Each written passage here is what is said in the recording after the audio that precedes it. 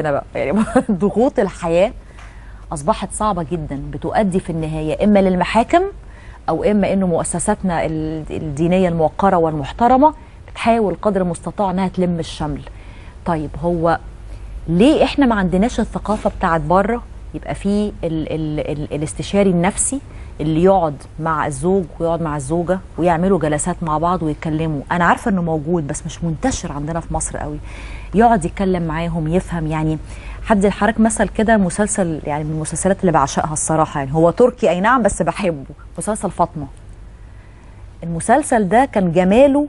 هي طبعا كانت فتاة تعرضت للاغتصاب وعاشت تجربة مريرة جدا. وبعدين ففي نص أحداث المسلسل هي وزوجها بيروحوا لطبيبة نفسية. بيتكلموا معاها. ده ساهم بشكل كبير جدا في تحول يعني المرار اللي هي عاشته إنها تصبح واحدة واحدة إنسانة طبيعية. فكرة الحديث مع الطبيب المختص النفسي والزوج والزوجة اللي يتكلموا ويشاركوا حد معاهم أوجاعهم ومشاكلهم دي ثقافة موجودة في الخارج. ليه لسه مش موجودة عندنا في مصر يا فندم؟ لو سيادتك رجعت لورا شوية هتلاقي إنها كانت موجودة للأسف. إحنا في حاجات كتيرة كانت موجودة عندنا. ما إحنا كانت مصر دي لغاية أوائل السبعينات كانت كنا بنقول عليها دولة شرقية بروح أوروبية.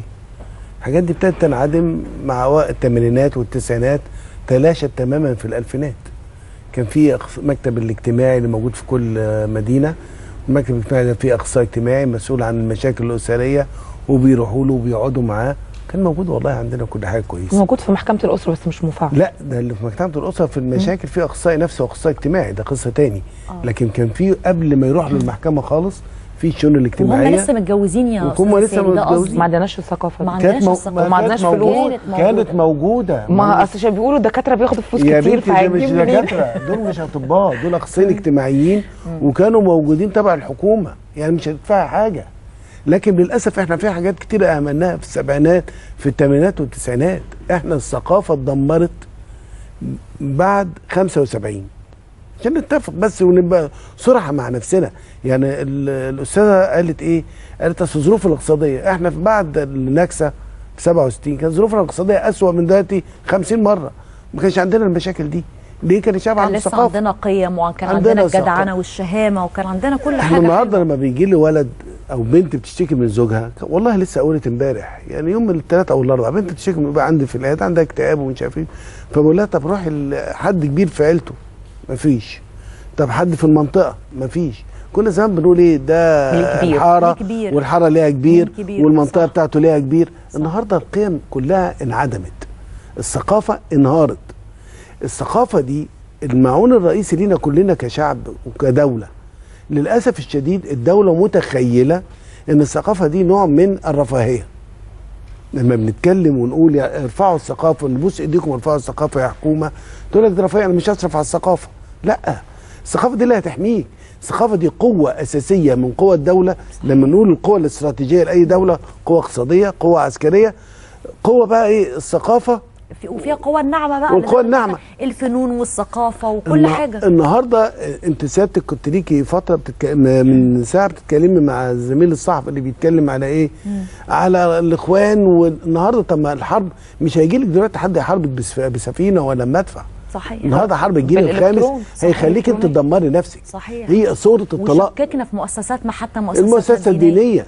النهارده لما يخلينا بيز- النهارده يعني ننتقد وننظر إلى مؤسسة الأزهر الشريف ودار الإفتاء حتى و- والكنيسة المصرية نظرة شك وريبة وتشكيك طول الوقت و... ال social media وال social media. بتتضرب بيشتغل أيوة، عليكي بقى الجيل. الخامس من الحروب إن أنت اللي هتضربي نفسك بالرصاص أنت النهارده بتعملي جيش تحمي حدودك بس هتبقى الضربه من جوه البلد مش من بره. وده اللي عمال أفهمه. هم مش عايزين يفهموها ما أعرفش ليه.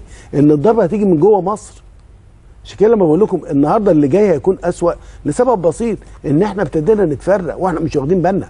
هي يعني إيه ثقافة؟ في ثقافة دينية ثقافة اجتماعية ثقافة أسرية.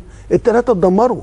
النهارده الثقافة الدينية يعني أنت ساعتك إحنا بنقول الأزهر الشريف والكنيسة الأرثوذكسية. النهارده زي ما ساعتك بتقولي بيشككوا فيهم. فبقينا ناخد الدين شكل. إحنا النهارده بنضرب الدقن وبنضرب الجلابية البيضاء صحيح. وأنا بعمل كل المساوئ اللي عايز اعملها. صحيح النهارده. نسبة الإلحاد وصلت في مصر لكام؟ ما إحنا لازم نواجه نفسنا. إحنا عندنا مشكلة.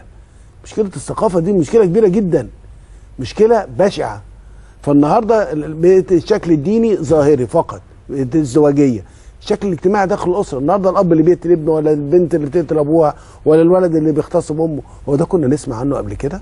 استحالة عشان ما كانش في النهارده كمية العلاقه ال- نعم يا فندم عشان ما كانش في كمية ال- المسا- التلفزيون والمسلسلات وال إن- لا، مخدرات. طبعاً سالي كله. يعني إحنا ما كناش في في الخمسينات والستينات بنشوف أفلام فيها جرائم لكن هل كان عندنا ال- ال- ال- العنف والوحشية لا دي استحالة. لا بس النهارده إحنا كنا بنسمع أصبحت مخيفة يا أستاذة سالي معاكي بس زمان كنا ب... كان الأب بيقعدنا كده قدام مثلا حديث آه، آه، الشعراوي تمام؟ الشعراوي. النهارده ما, بت... ما بنلمش. النهارده أنت تخشي جاية تعبانة من الشغل تفتحي مسلسل تركي ولا تفتحي شوية أغاني أو قاعدة على الفيسبوك.